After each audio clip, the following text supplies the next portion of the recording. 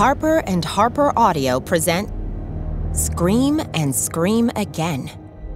Spooky stories from Mystery Writers of America. Edited by R.L. Stine. Performed by Ramon de Ocampo, Almarie Guerra, and P.J. Ochlan.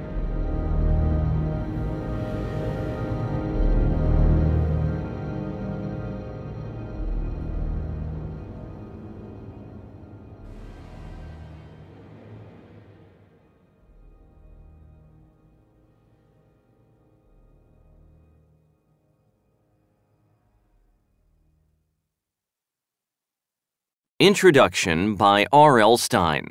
Read by P.J. Ochlan.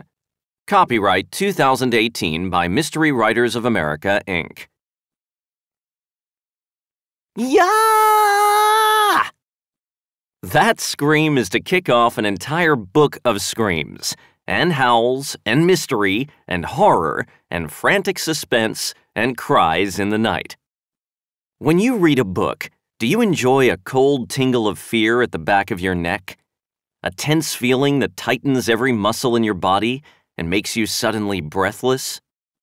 You've come to the right place. We call this book Scream and Scream Again because every story begins or ends with a scream. And trust me, there are plenty of screams in between. Here are 20 scary stories by 20 different authors. Some of them you know, and some of them will be scaring you for the first time. I promise every story will be a scream. For example, The Platform by Peter Lerangis begins with a girl falling onto the subway tracks as a speeding train approaches. Our hero, Justin Blonsky, dives to rescue her. The terror and screams build from there. In Cat Got Your Tongue by Wendy Corsi Staub, kids start hearing screams in the night. Are they the cries of bobcats, or has something more terrifying moved into the woods? Chris Grabenstein takes us back in history in The Unknown Patriot.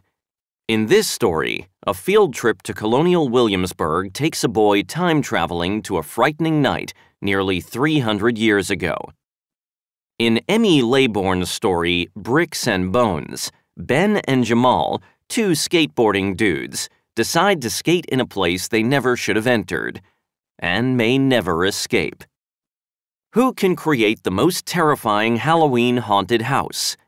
A competition to see who can scare people the most goes badly out of control in Bruce Hale's shivery nightmare of a story Raw Head and Bloody Bones and much, much more. 20 stories, 20 authors, all waiting to give you the shivers and shakes. So, what are you waiting for? Let the screams begin. The Best Revenge by R.L. Stine. Read by P.J. Ochlan. Copyright 2018 by R.L. Stine. This story starts with screams. But don't worry, they are screams of delight. Freddie, 12, and Teddy, his 11 year old sister, had been wanting new bikes for ages. And now the two kids stood at the door to their garage as Mr. Hardwick, their grinning father, waved a hand at the bikes, shining in the afternoon sunlight against the back wall.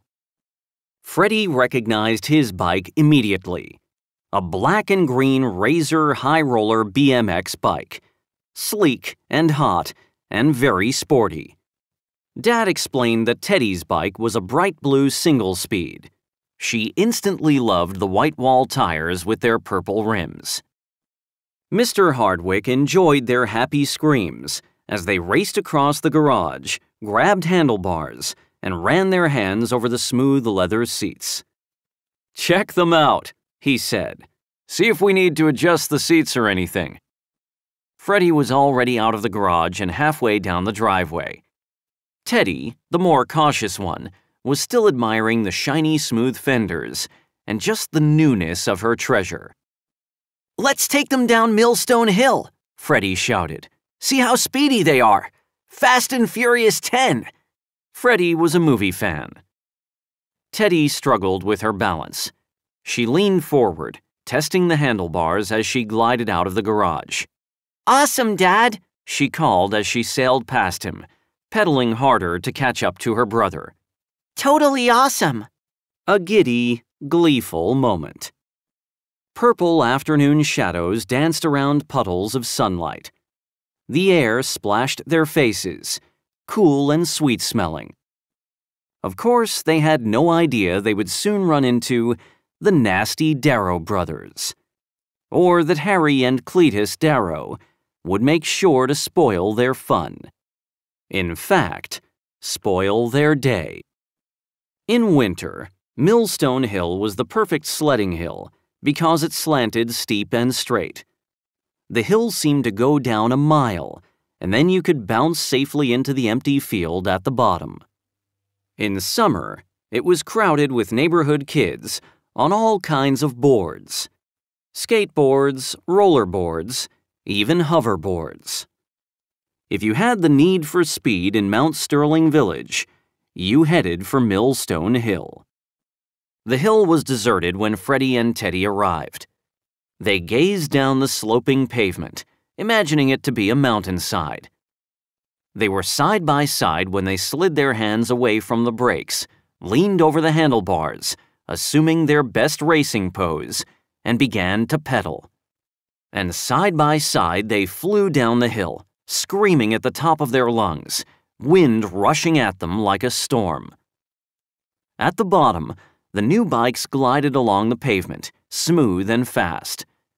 And both kids realized their hearts were pounding, and they were laughing, heads tossed back, laughing at the thrill of it. They walked their bikes back up, keeping to the tall grass at the side of the road. A few cars came down the hill, picking up speed as they descended.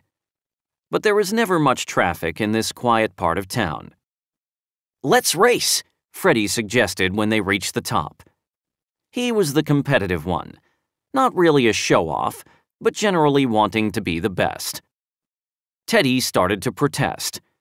She didn't want to turn it into a contest. She just wanted to enjoy the feel of her new bike. But Freddie had already started pedaling downhill. Cheater! she shouted. That's not fair! I'm not racing! She watched as Freddie rocketed down. She heard the squeal of his brakes as he started to stop at the bottom. And then she cried out in alarm as his bike stopped too fast. Freddie wasn't used to those brakes, and he went sailing up from the seat and over the handlebars. He made a hard crunch as he landed on the pavement. Teddy saw his body bounce once, and then the bike fell on top of him and she was pedaling without even realizing it, hurrying down the hill. Not gleefully this time, but with a heavy feeling in the pit of her stomach. She slowed to a stop and climbed off the bike. Freddie? He shoved the bike tire off his chest, rolled over with a groan, and slowly climbed to his feet, shaking his head. Then he pulled the bike up by the seat and handlebars and inspected it for damages. Not a scratch, he reported. But are you okay? Teddy demanded, eyeing the long dirt patch scraped along the leg of his jeans. Of course I'm okay, he replied. Freddie couldn't be hurt. He was invincible. That's the word he always used, and he believed it. Now let's race, he said. Teddy didn't want to argue. She followed him up the hill feeling the late afternoon sun on her back, listening to the soft thrum of the new tires against the pavement. Then the Darrow brothers appeared at the top of the hill. Just appeared the way they often did, floating in silently like a dark cloud.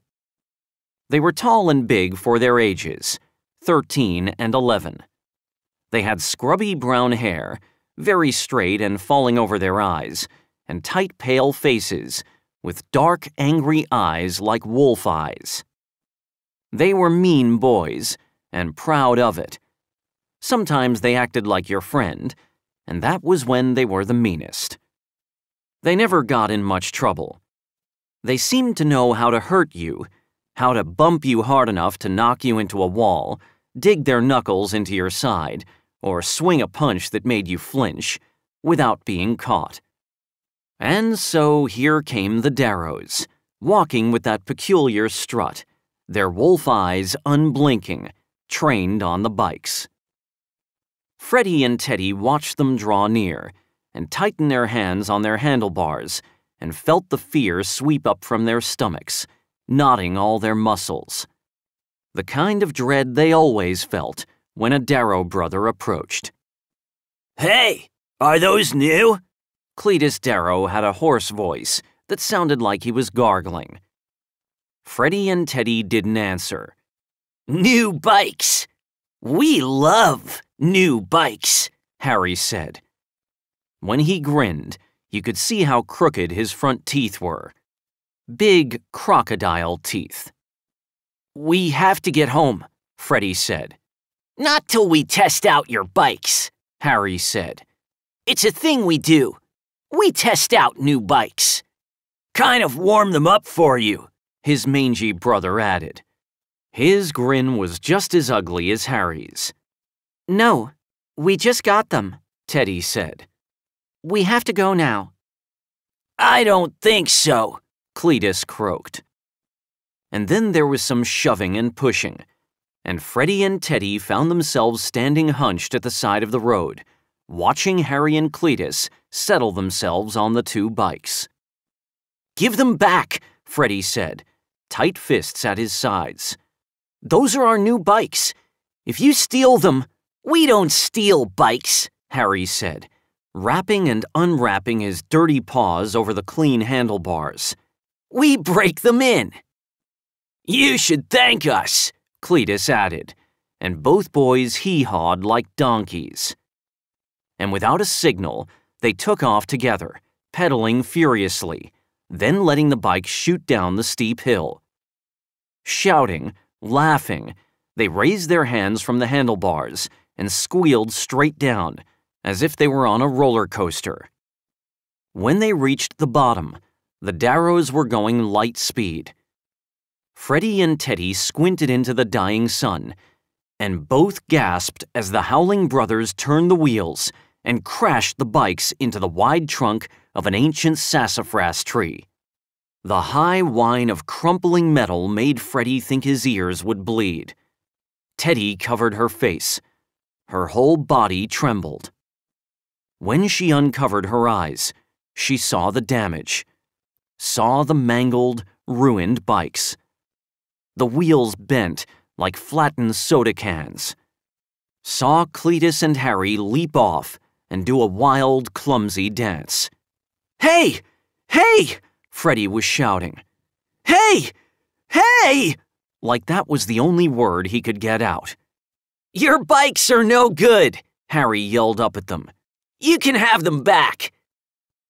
And then the Darrow brothers were running away, slapping each other on the shoulders, hee-hawing and hooting.